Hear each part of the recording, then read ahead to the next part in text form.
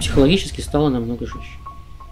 Намного жестче. Я физически ощущаю, насколько опасность вот просто висит над головой и стоит за спиной.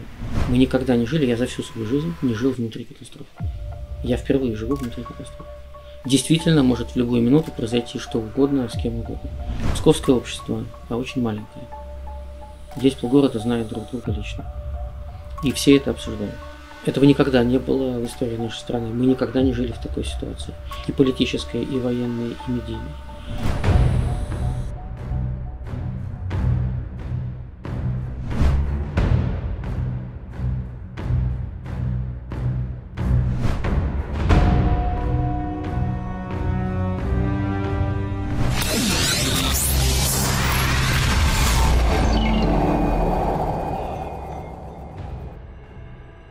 Добрый день, дорогие друзья, уважаемые жители Псковской области. По вашим откликам в социальных сетях вижу, что новый формат многим интересен и помог дать ответы на ряд вопросов о текущих событиях в России и мире.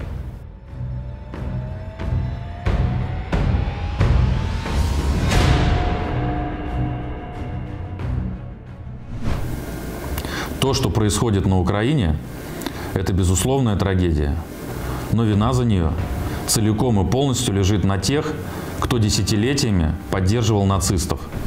Соединенным Штатам необходимо сделать все, чтобы превратить Украину во второй Афганистан. Трогательной и глубокой правильной акцией я считаю письма детишек на передовую. Наши солдаты получают самые добрые пожелания победы и скорейшего возвращения домой. Мы русские, с нами правда, и мы вместе – а значит, победа будет за нами. Совершенно очевидно, что простого выхода из этой ситуации не будет уже никогда. Закончилась та Россия, которая была до 24 февраля. Все, ее больше не будет. По большому счету закончилась Россия Путина.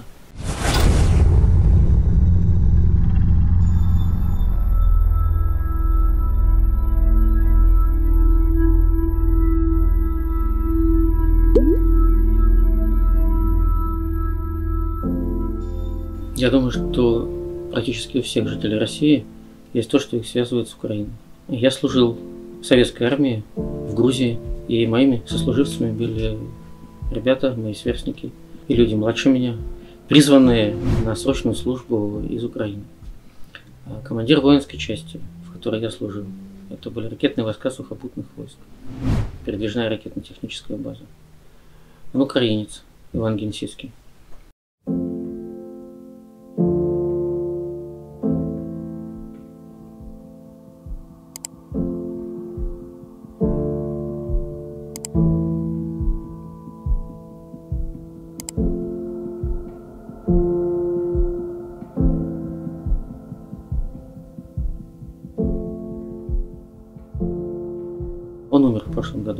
Августе прошлого года. Это был выдающийся офицер. А его сын сейчас офицер вооруженных сил Украины. 27 марта 2014 года Псковское областное собрание депутатов рассмотрело заявление областного собрания о ситуации на территории Украины и Крыма. Псковское областное собрание депутатов большинством голосов поддержало присоединение Крыма к России. И поддержка возвращения Крыма означала поддержку завтрашней войны. И эта война неизбежно пришла.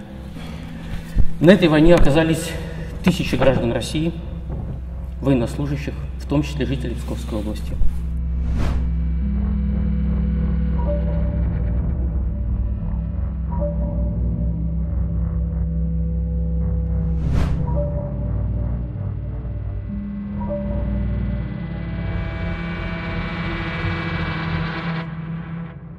Дивизия закрыта для общения, полностью закрыта. Даже отставные офицеры общаются очень осторожно. Они не владеют никакой полнотой информации, скрываются от всех, от родных, от всех без исключения. Поскольку официальный министр обороны и командующий ВДВ заявили, что российских войск на территории Украины нет, они боевые действия не ведут. И самая страшная фраза, которая прозвучала, это фраза Шаманова о том, что 76-я десантно-штурмовая дивизия боевых потерь в Украине не понесла.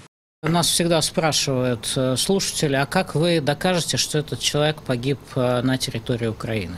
Члены семей однозначно знали, что это Украина.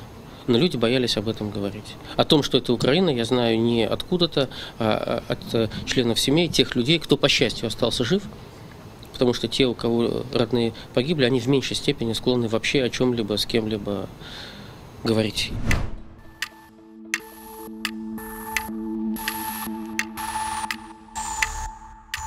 Это был отчет, мой отчет депутата в одной из средних школ.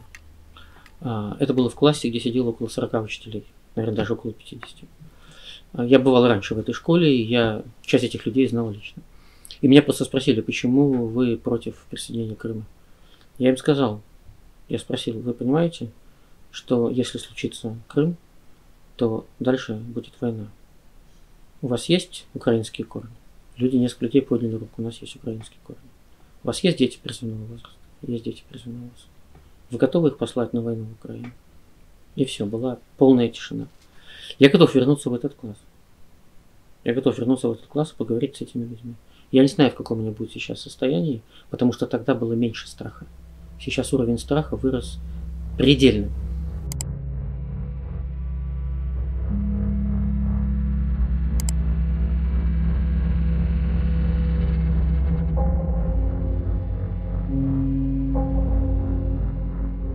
Компания Russian Fields, которая провела исследование восприятия специальной военной операции, обнародовала цифру 1650 ответов, согласившихся ответить на анкету, и 29 тысяч отказов.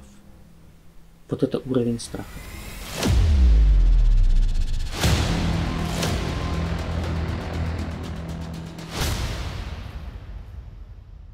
Уровень запрета на публичные политические высказывания напрямую конвертируется в страх.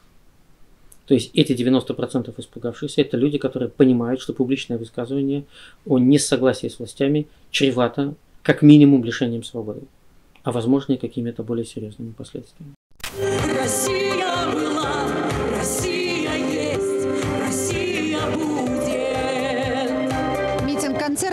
организован Центром поддержки молодежных инициатив совместно с Союзом десантников Псковской области. В акции участвуют люди разного возраста и с единой, очень четкой гражданской позицией. Я за президента, за Россию, за нашу армию. По большому счету закончилась Россия Путина. Она может еще какое-то время существовать, может быть даже долгое время. Для этого есть материальные ресурсы, для этого есть возможности э, силовые, но закончились государственные возможности. Государство закончилось.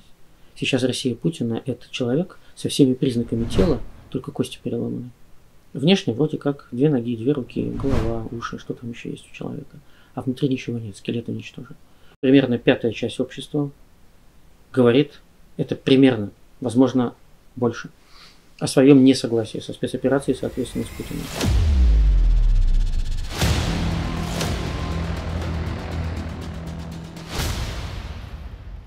В пересчете на страну это 25 миллионов человек. Наша задача собрать этих людей. Всех тех, кто против специальной военной операции, против Путина и против такого катастрофического развития страны. Мы не должны их потерять, мы не должны их бросить, мы не должны уйти в тину. Я понимаю тех, кто уехал и уедет, особенно спасая детей. Я уважаю и принимаю ваш выбор. Пусть все сложится хорошо, где бы вы ни были. Начинайте новую жизнь. Я уважаю тех, кто остался, сознательно или вынужденно. Нам будет очень трудно. Я понял, что у меня очень сильно меняется ближний круг общения. Э, часть моих очень близких знакомых, людей близких к нашей семье, моих друзей уехали. Уехали очень быстро. Кто-то уехал чуть позже. Одна очень близкая мне семья уехала буквально несколько дней назад. И это сознательное решение людей.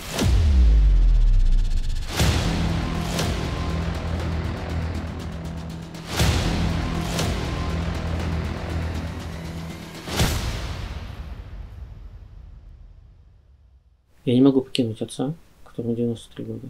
И я не могу расстаться с женой. А жена не может расстаться с папой, состояние здоровья которого она поддерживает. Переехать все вместе мы тоже никуда не можем, потому что здесь наши корни. Папа родился в Пскове в 1929 году. Ну вот любое перемещение в пространстве, выход из вот этой родной, физически родной атмосферы, из этой квартиры, из этого города, куда он уезжал только на время эвакуации во время Второй мировой войны, ну это просто сокращение жизни. Это, это немыслимое решение. Если уезжать, он здесь, я там, это насколько? Это навсегда? Я не хочу так расставаться.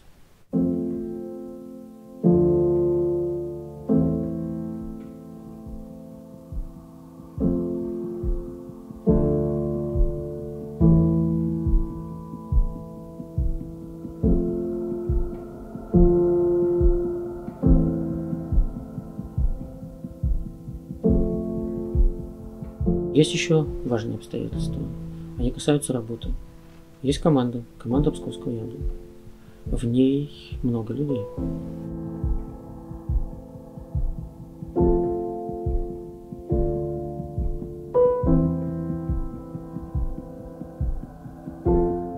Даже не важно, в ней могло быть три человека. В ней на самом деле свыше ста человек. Я понимаю свою ответственность за эту команду.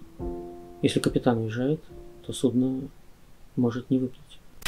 Сама история подсказывает нам, не отчаивайтесь.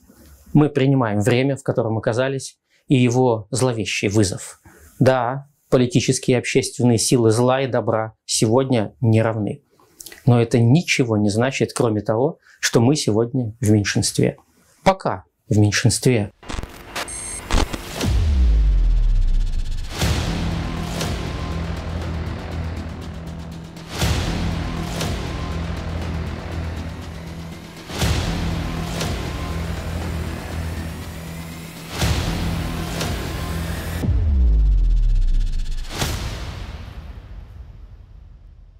Мы люди, переживающие катастрофу, и наша возможность влиять на нее очень невелика. Мы можем поддерживать тех, кто рядом, если мы высказываемся открыто и публично, можем поддерживать тех, кто нас видит и слышит. Но если мы можем делать хоть что-то, мы должны делать хоть что-то. Нельзя молчать, нельзя бездействовать. Иначе катастрофа будет еще большей. Вот на это наше молчание и бездействие.